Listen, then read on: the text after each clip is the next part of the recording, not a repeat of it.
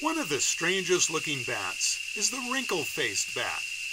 These wrinkles, which make it look like a creepy old man, are possibly used to channel fruit juice into its mouth, or, more probably, to modify ultrasound for echolocation and or sexual selection. These rare bats live from Mexico to northern South America and are found in both primary and secondary tropical forests, but also in disturbed habitats.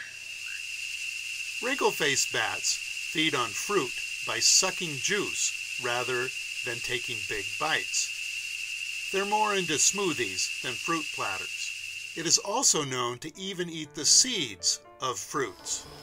Recently, it was discovered in Costa Rica that the wrinkle-faced bat form leks, or sexual playgrounds, which are more well known among birds like manakins.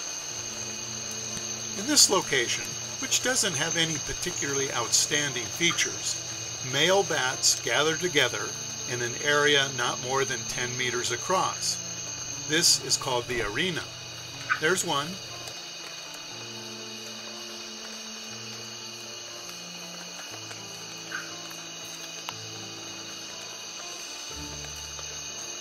One over here, and so on, with up to 27 males in this small area, all hanging and praying for females to come by. And the males with the right stuff get to mate.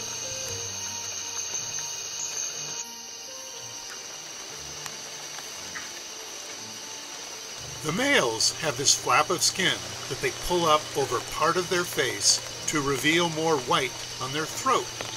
This makes them extra sexy. It's like it's pre-adapted for robbing banks. Curiously, males have two semi-transparent window coverings where the folds cover the eyes. Besides the bright white on the throat that may play a role in sexual selection, the male's chin emits a strong musky odor. All in all, male leks may be a sexual competition of ultrasound, visual cues, and musky cologne. Wrinkle-faced bats roost alone or in small numbers, often in same-sex groups and usually in dense foliage. Now without the bright lights, you could see them much more active, picking up all kinds of signals with their ears. Leks are little known in mammals, and this is the first case in bats that has been studied but there are another eight species of bats worldwide that may also have leks. So the males do all the work of perching, calling, putting out musk, but after mating, the males don't help with the young. It's too bad we can't hear the crazy amount of bat calling in the lek. We just aren't adapted to hear that high. Dr. Bernal Rodriguez, who first discovered this lek in the high mountains near San Ramon, Costa Rica, sums up their behavior.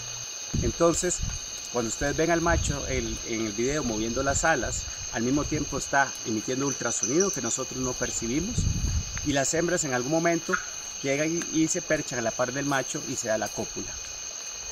An outstanding morphological feature of the males is the ribbing on the wings which probably helps make sounds to attract the females.